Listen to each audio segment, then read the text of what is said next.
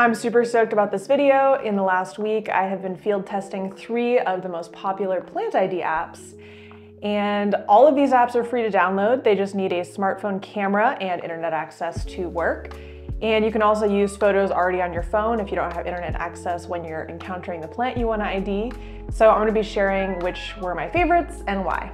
Each one of these apps brings something specific to the table. I did have a clear favorite, but I'm not gonna spoil that just yet. In my week of testing these apps in various environments, I quickly realized that user interface was just as important to me as accuracy, and I also discovered that gamification was more important than I thought it would be to me.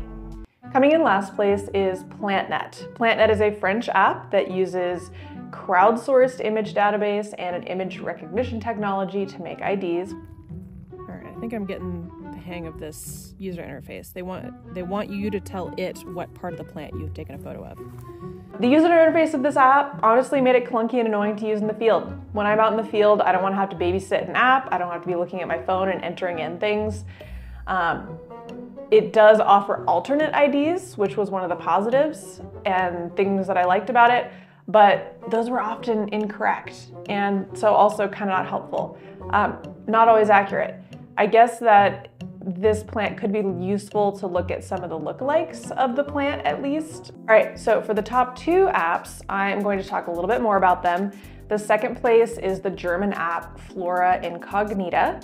Um, this app uses 100% curated photos, so not crowdsourced, um, from like botanists and scientists, etc., which is different than the other two.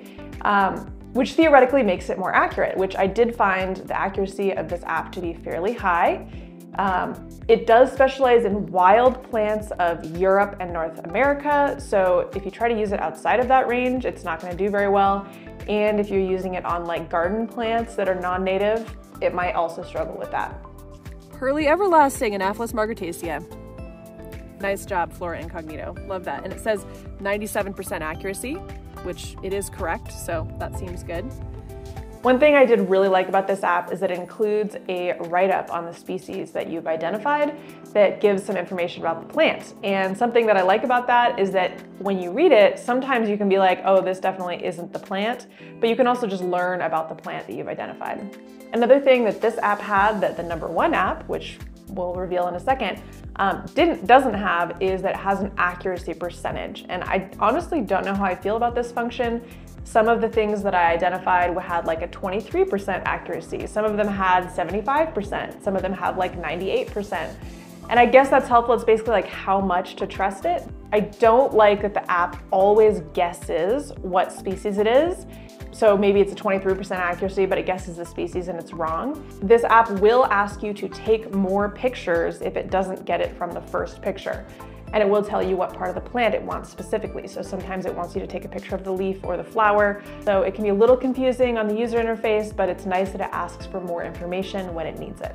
All right, number one favorite app was Seek by iNaturalist. This is a North American app, which means that if you are in North America, it's going to be a little bit more accurate, but iNaturalist has an image database that covers the entire world. Um, check it out on this map. There's observations literally from every continent. Um, the white parts of the map are gonna be places that have less observations. So if you're in that place, it might be slightly less accurate. Um, one great thing about this app is that because it has such a huge image database and these images are actually typically verified by the community rather than just being like some random Joe saying this is, this is what plant they think it is. Um, it does involve more accuracy and a larger database than the other two, which I think is great. And you can also contribute it to the database as well. Wow, okay. One of the things that I love about iNaturalist, come check it out, is it actually says, like as I approached this plant, it already knew that it was some kind of Vaccinium, like huckleberry or cranberry, which is really cool and already, again, without me having to take a picture, instantaneously, with the same amount of reception as, as either the other two, it knows it's thin leaf huckleberry. And let's actually test it a little bit. I'm gonna pan over to the mountain ash. Let's see how quickly it picks up on that. Wow, Rowan's a mountain ash is Sitka mountain ash. Oh my gosh! That's actually so amazing because there's not any flowers or fruit, there's only leaves. And the leaves among the mountain ashes look really similar. Something I love about this app is that it does not guess a species unless it is sure. And it will give you a genus or a family if it doesn't know the exact species. And you can take more pictures and try to get it more narrow. It gives you an option for that. But I would much rather have a partial correct ID than a full incorrect ID, personally. I can use other tools to narrow the ID down from there, which I'll talk about in another video. All right, and you may have mixed feelings about this, but this app is extremely effectively gamified, which means it is like a game. It's kind of like a real life version of Pokemon. I didn't expect that I would like it as much as I did, but it's amazing. It gives you badges when you identify a certain number of species and even like different types of organisms like insects and plants. Um, I think this could be really fun for like teen, preteen, kind of 10, 9 year old children who are like really enjoying learning about nature. They could like collect all the different species, maybe better use of their time than Pokemon. And um, I definitely found myself like wanting to literally run around and identify more species with this app. I was quite surprised. After this week of testing, I have to say that I am so excited to bring the Seek app with me on vacations and hikes because it just makes it so much more fun and interactive and it allows me to know plants in the moment that I don't know yet. I don't come across a lot of plants that I don't know where I live, but when I visit other places, there's a lot of them and I always wish I knew what they were and now I can. So I'm super stoked about this and I really recommend downloading this plant app today and bringing it on your next hike or even just walk in your neighborhood. One other thing that I wanna say that all of these apps do, which I thought was really cool, is that it saves your observations so that you can actually go back and look at all the plants that you've identified. So if you wanted to try to remind yourself, whoa, what was that plant that I saw yesterday again, that kind of violet thing I saw, you can go back and it has saved it along with the picture and the description. So it's pretty good for learning in that way. As far as these three apps go, I'm going to be keeping the Seek app and the Flora Incognita app, and I'm going to use them Probably mostly I'll use the Seek app and then I'll hit the Flora Incognita app if I want a little bit of a cross-reference thing going on, which can be helpful. They're two different image databases, so you might as well, right? Okay, but it's not all about the app, right? We can't just take a dark, blurry photo of a lumpy, stepped upon plant and expect these apps to magically identify it, right? We need to give them something good to work with. So let's talk about some things that you can do to help your app get a more correct ID. Okay, first, Take pictures of the plant straight on so that the leaf shape is obvious in the frame of the camera. It may help to hold the leaf flat or turn it toward the camera with your other hand that's not holding the phone.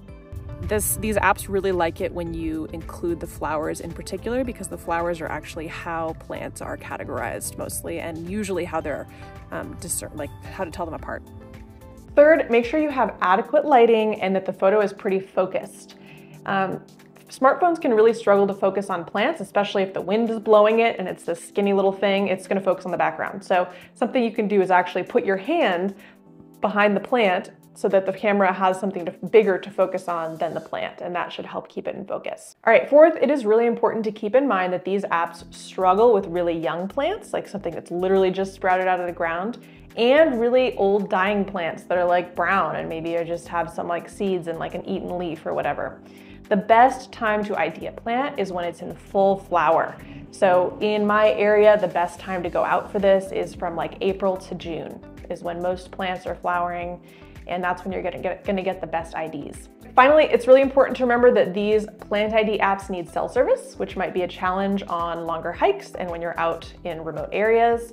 And they also take a lot of battery life. So you might even bring like an extra one of those charging stations for your phone if you're wanting to use this for a many hour hike. When I was designing this video and testing the apps, um, a lot of my friends asked me, oh, are you going to test Google Lens? I did not test Google Lens, and that is because Google Lens is not primarily designed as a plant ID app and its accuracy is fairly low.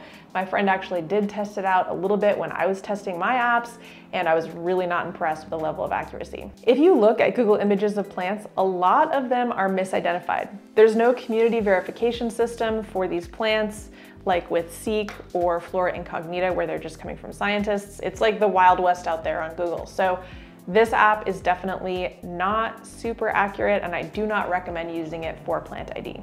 Thank you so much for watching the video. I would love to hear in the comments which apps are your favorite, why, and do you have any other apps that you like to use than the one that I talked about in this video? If you enjoyed this video, feel free to like and subscribe and support my channel.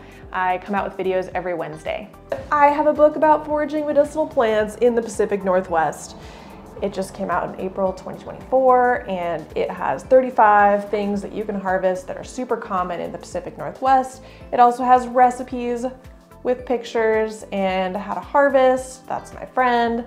Here is the page on gumweed or grindelia. And I like to include things like how the seeds are shaped and how the leaves are shaped and how the basal leaves are shaped um, so that you can identify the plants more easily in the field. So if this looks really cool to you, you can check it out. It's for sale on Amazon and from my publisher, Mountaineers.